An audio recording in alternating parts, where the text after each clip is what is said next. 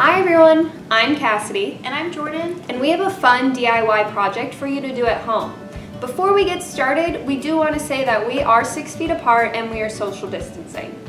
So, we're going to be making tie-dye masks using these plain white masks. We found this idea in these books that you can find at your Clearwater Library.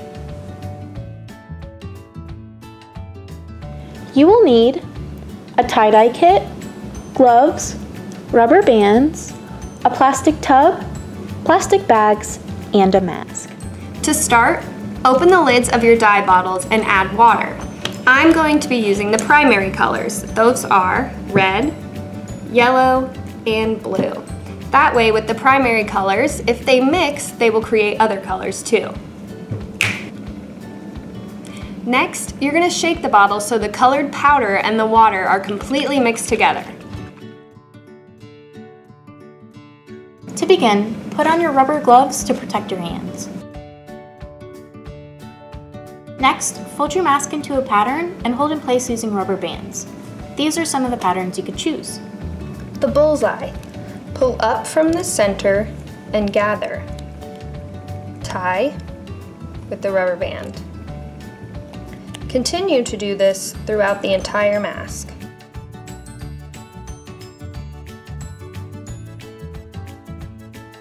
Then you dye each section individually. The swirl. Pinch fabric and twist into a flat spiral. Bind with rubber bands.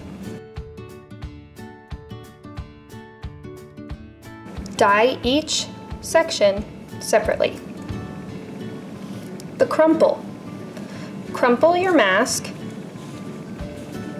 into one large circle.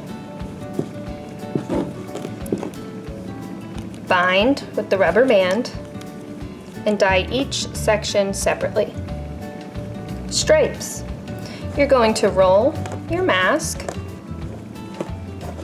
and bind sections with the rubber band.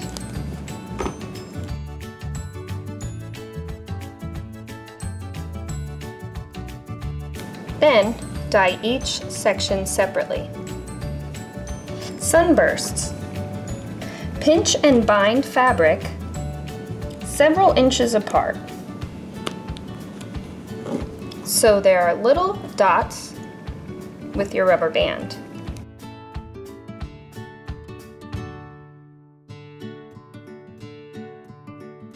Apply dye to each of the dots and then the rest of the mask. I chose the sunburst pattern.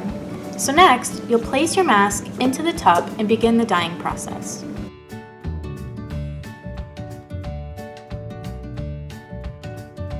When you're finished, place your mask in a plastic bag, seal it, and let it sit for 6 to 8 hours. Rinse the mask in cold water until the water runs clear and no more dye comes off.